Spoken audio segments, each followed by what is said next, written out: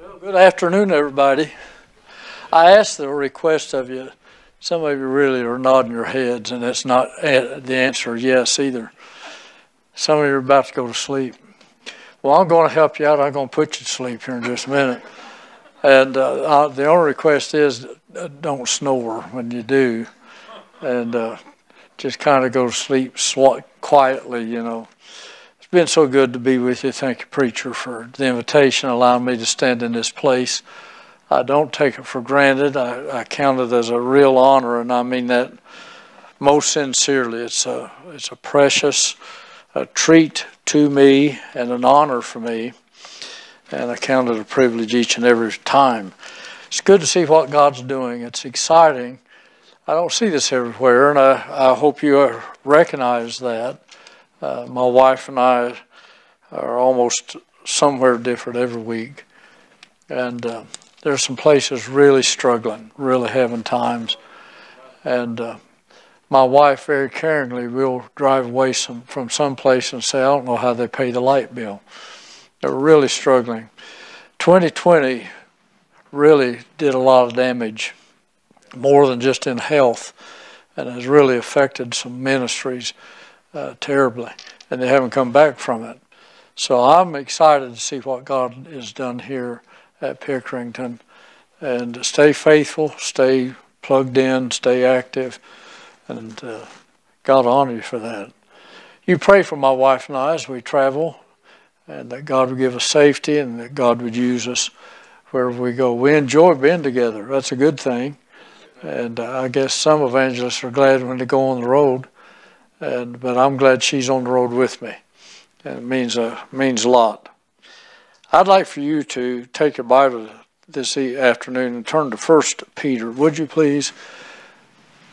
I, I want to give you uh, something to think about not that I'd preached for you not to think about, but something that invades every one of our lives somewhere along time, and not only once, once but oftentimes in our life, and that is adversity, trials, troubles, difficulties. Uh, you know, God doesn't say, I'll save you from them but he does say he'll go through them with us in the promise of never leaving us nor forsake us. I doubt very seriously there's a family in this audience today that hasn't been touched with heartache somewhere in life's journey so far. And uh, we all have, you know, the death of a parent, of a sibling, of a friend, whatever, or loss of a job or problems in a marriage, and you know that list can just go on and on and on. We're all touched by by one way or another, and the reason for that is we're flesh, we're we're human, and uh, God saves the soul, but we got to put up with the flesh as long as we're alive. And sometimes uh, we understand watching the world collide with itself because they have no place to go. They do, but they don't use it the Christian, you and I, we have a place. And uh, it's, it's a choice, it's an option, it's not an automatic. Because I know some Christians that have just uh, are angry at God over things that come into their lives. But am I really an exception to the rule? No, or nor are you. Uh, we're, we're going to we're going to deal with something somewhere in life's journey. Peter deals with that. And I want us to look, if you would please, and we're going to we're going to read a couple verses of scripture, then make our thoughts. And I'm not going into great, great detail on these. I just want to give you some points for you to ponder and look at. And maybe in the quietness of your own time, you can run a little research and do some studying on your own, which would be advisable.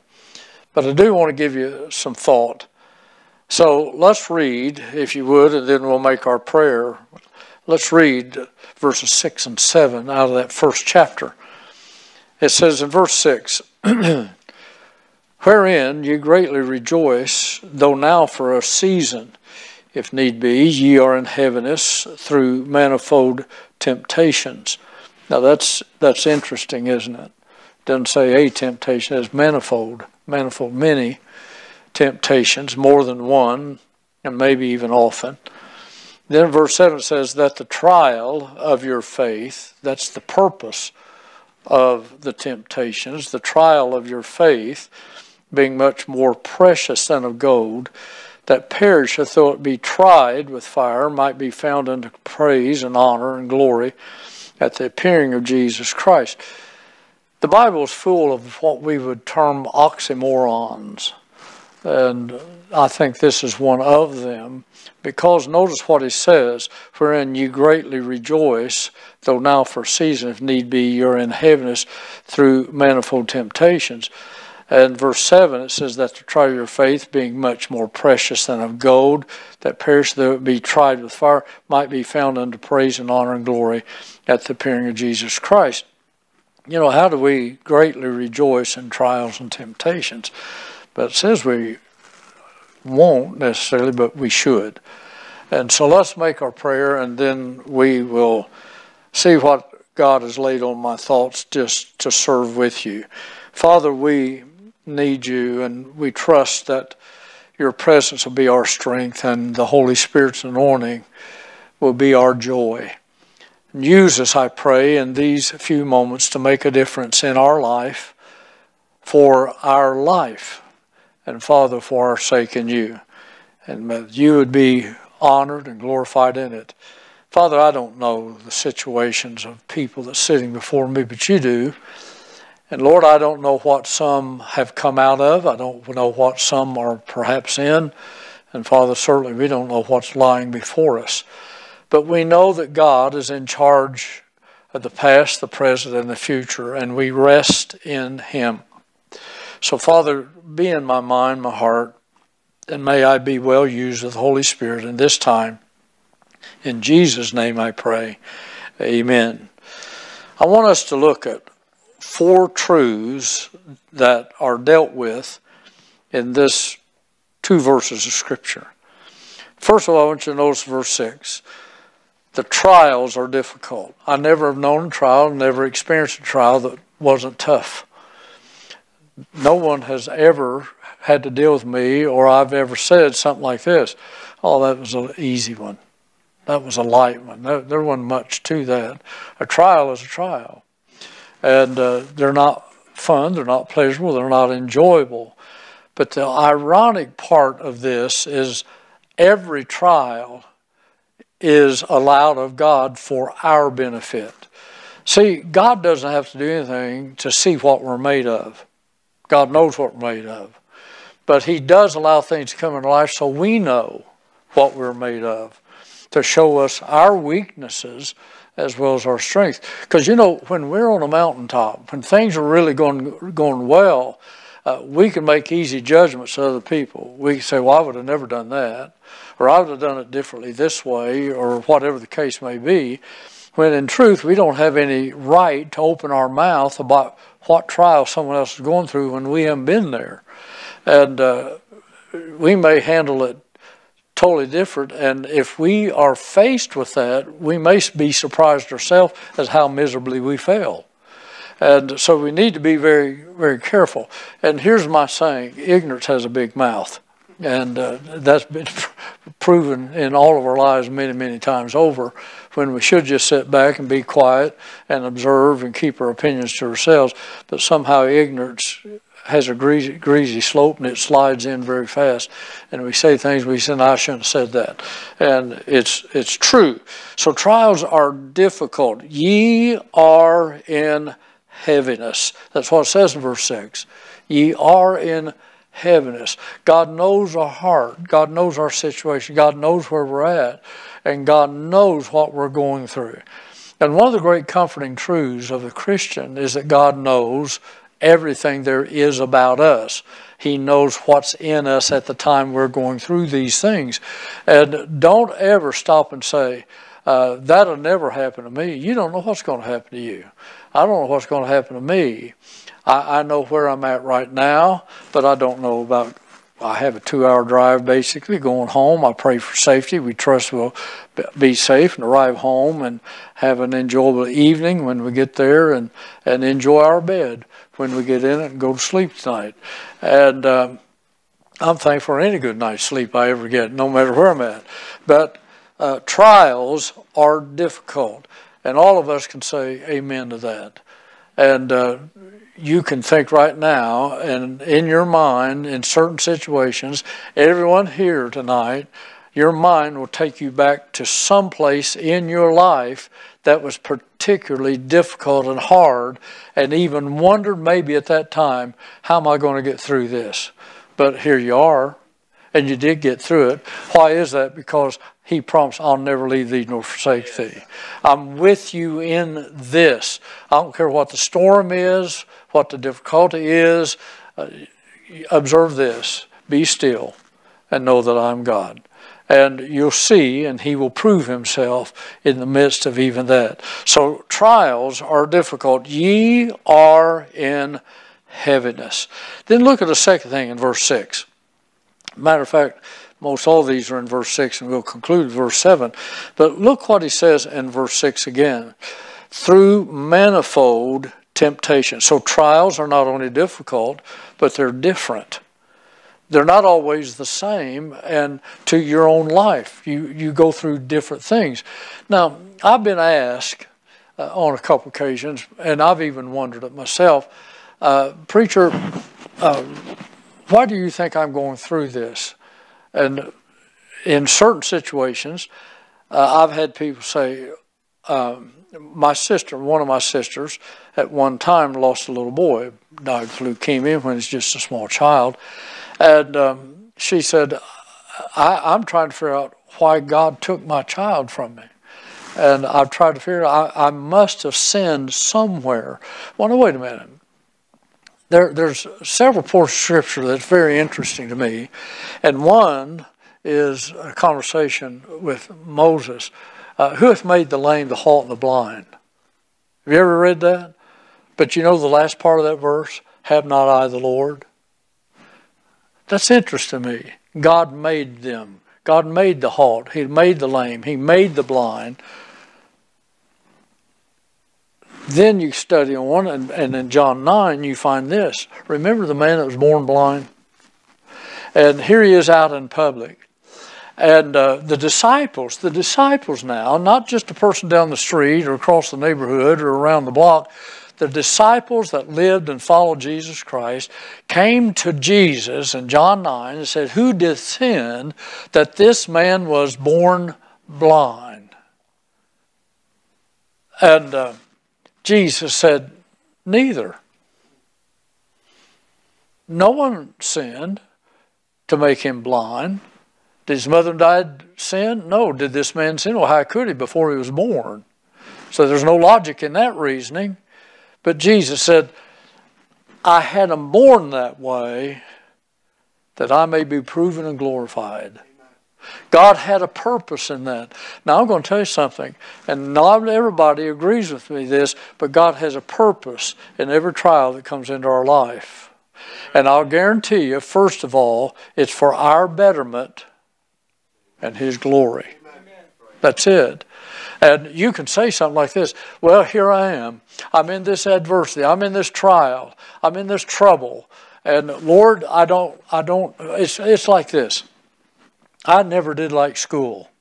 Excuse me. I, I should have said that in front of these children. But I did, I never enjoyed school. I went to school out of necessity because it was the law and I had to do it. And I was not a good student, not because I was stupid, I just didn't care. But I had enough care to do this. I knew I didn't want to repeat it, so I worked hard enough to pass. so, so I did. And so I passed, got my diploma. And then God surprised me and upset my whole world when He called me in the ministry. I knew He'd made His first mistake. And then when I finally obeyed him and I surrendered when and came into the ministry and went to Bible college, started studying, you know what? I was an excellent student. Want to know why? My heart was in that. And I cared about that and I studied about that and I did well in college. Now, we have got to understand this that what God allows us to go through, He may not cause it, but He allows it. And what He allows is to His glory and to our benefit. It's to make a better me out of me. It's to make a greater Christian out of me. And it says, the world observes me, they see Jesus in me. Years ago, I pastored, of all places, I pastored in Kalamazoo, Michigan. Many, many years ago, another century, literally. And uh, there was a little husband wife. He was a retired pastor, and he's well up into years. And his last name was Rice. His name was Alan Rice, and he was he was just a sweet, precious guy. And his wife was a little bit petite lady, and she was a sweetheart.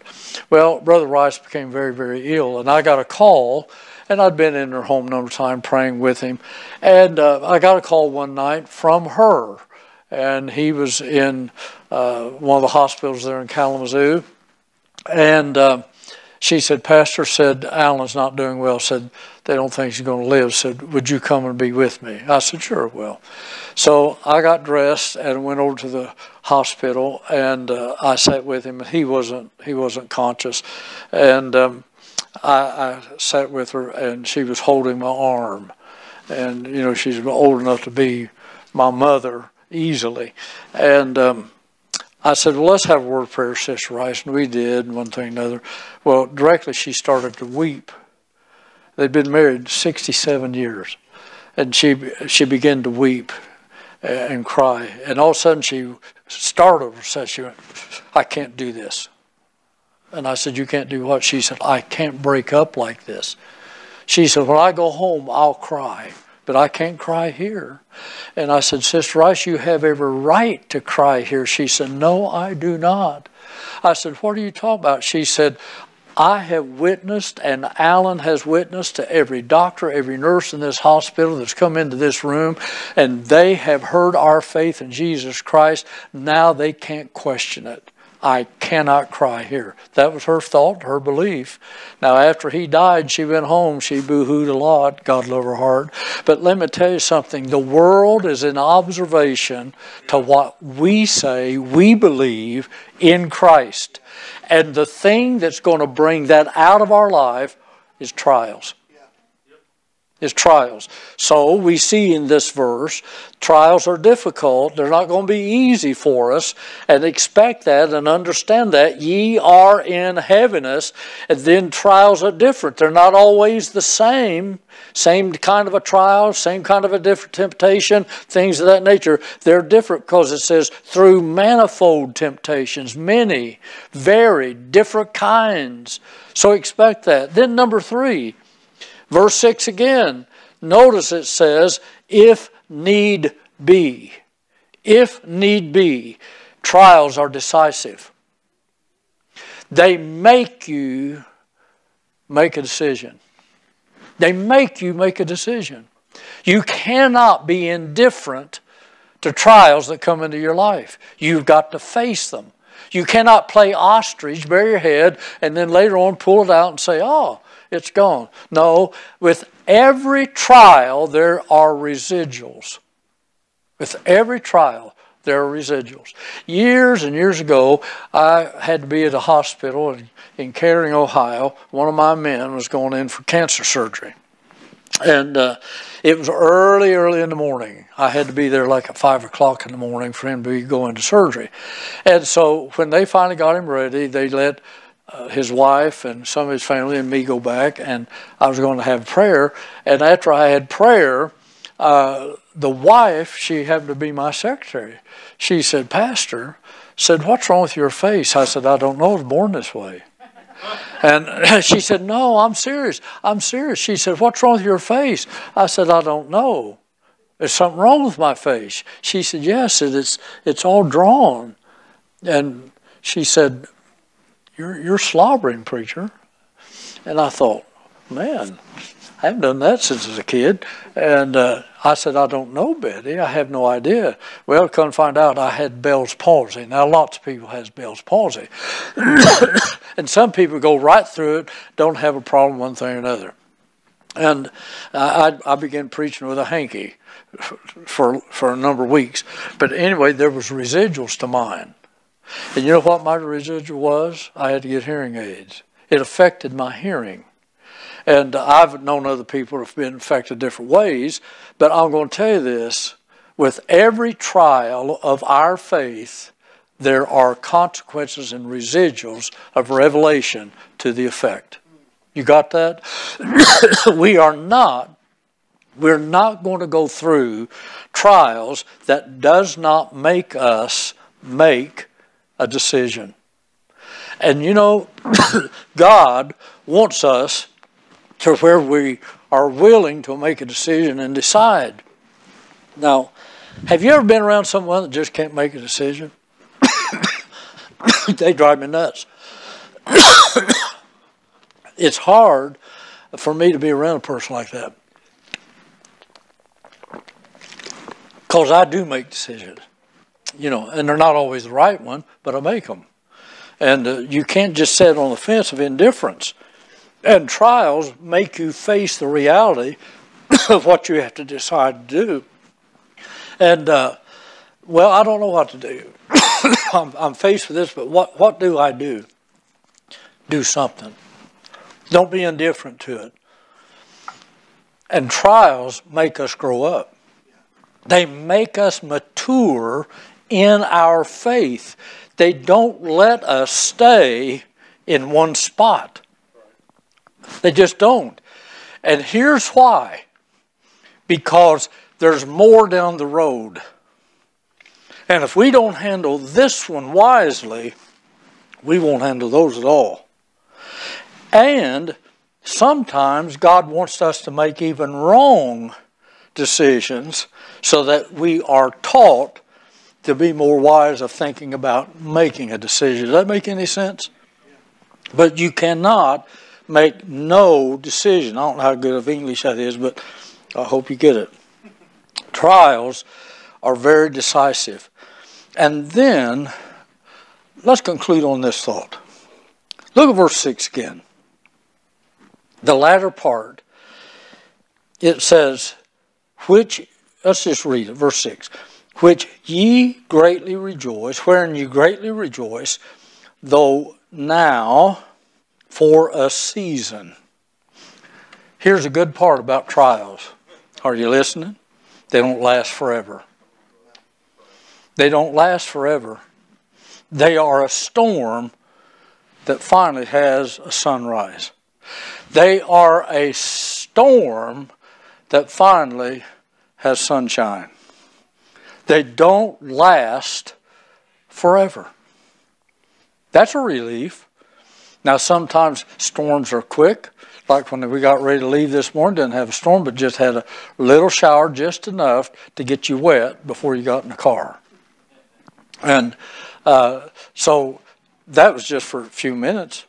That's all it was. But I've been in storms that last for days. I've been in the Philippine Islands when you didn't think it was ever going to stop. Just storm and buckets. I mean, a, an umbrella didn't help. Get in a typhoon. Have you ever been in a typhoon? Man, I have. And you can't see. Windshield wipers don't even work. Nothing helps. I mean, it is a torrential downpour.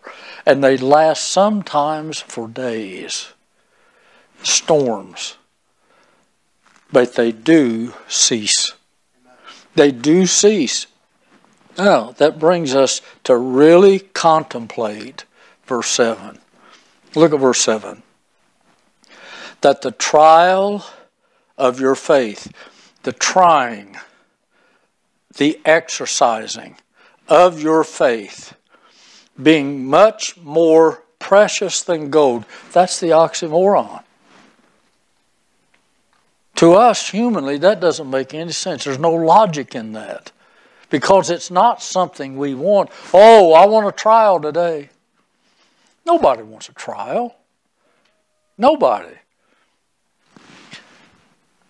I have a grandnephew that was just accused of something. Well, it wasn't just back a number of months ago. He was accused of something. And it wasn't true. Not true at all not even close to being truth. And so they had a pre-trial, and in that pre-trial, they sent it on to a trial.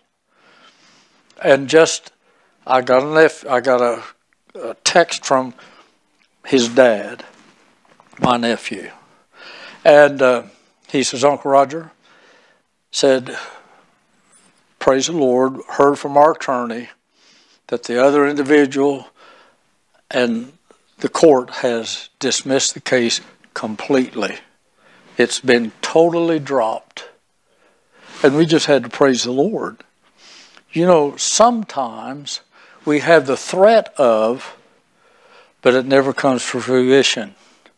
There's a possibility. I had uh, recently, I had to have a heart thing done on me to see what's wrong with it. And, uh, you know, the doctor is telling me that it can be this and it can be this, or, or it could be this, and it could be this thing. Well, you know, I was almost ready to go to the funeral home and make plans by the time he got done talking to me. I mean, I already felt like I was almost dead. And so I had to make arrangements, go to have this test done. And so I had the test done. And uh, I went back to the doctor, and the doctor said, Oh, said it's great. He said, I don't need to check you again for over two years. Well, why didn't you tell me that the first time?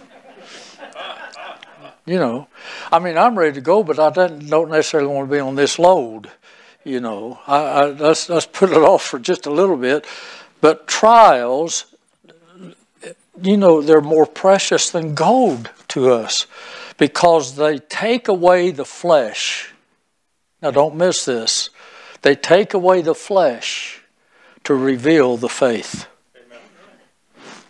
They take away the flesh to reveal the faith. They are more precious than gold that perisheth, though it be tried with fire, might be found unto praise and honor and glory at the appearing of Jesus Christ. To God be the glory, great things he hath done. So, church, listen to me tonight. Be well aware that in this thing called the school of life, there are trials. Uh, we called them in school exams. Uh, we called them in school quizzes. Depend on the seriousness of them. And some of them were pretty easy because they were open book tests. But we were tried to the knowledge that we were gaining. And I found this out. They always make you study. You want to know more to be better in what you're doing. God's not mad at you. God's not trying to whip you. God is trying to perfect you. That we bury the flesh and we reveal the faith. Trials are difficult. Trials are different. Trials are decisive. But trials don't last forever. Now for a season. Now for a season. Just a little note to give to you. Just a little lesson at something that we need to learn in our life. Preacher, why is this happening to me? Well, I don't know all the answers, but I do know the ultimate end of everything is that God gets the glory out of it, and I'm benefited through it. Prayer. I, I don't know if it was the last time I was here, but I mentioned the need of a prayer revival. I still believe that. But the ultimate end, now listen to me, the ultimate end to every prayer request is that God gets the glory out of the response. And that's the reason sometimes God says, No, no, I'm not going to do that. Or he might say, put it off. You're not ready for that yet. Or he may say, sure, glad to. But in every situation, as God's movement is given, the ultimate end is that he gets the glory from it, not me. I'm benefited from his answer, but he's glorified by the answer. And it's the same thing. You're not your own. You're bought with a price. Therefore, glorify God in your body and in your spirit, which are God's. I don't know. I don't know. But, dear people, this little bitty lesson that I've just given you can be proven in our life to probably be one of the most important that you'll ever learn. Because I can guarantee all of us you're going to experience it. Somewhere, somewhere. And not one time, but many times. God help us learn the lesson. Learn the lesson. And I'm not trying to be silly here at all. But I genuinely did not want to fail in any test. You know what? Why? Because I had to redo it. And there's some things I don't want to redo in life. Let me learn my lessons well the first time. May I be hid that he's always seen. May I be silent that he will always be heard. Father, we ask in Jesus' name that in this little lesson, that somebody has been encouraged. Maybe, maybe they have come out of a trial. Now they kind of have a clarification of it. Maybe they're going into, a, uh, into it or they're in the midst of a trial. And this has helped in some way. But Father, we know this. We may be well walking into a trial. Help us to bear it well. Rest in you, trust in you. And dear God, may you be honored by it, and we'll thank you for it in Jesus' name. Amen, preacher.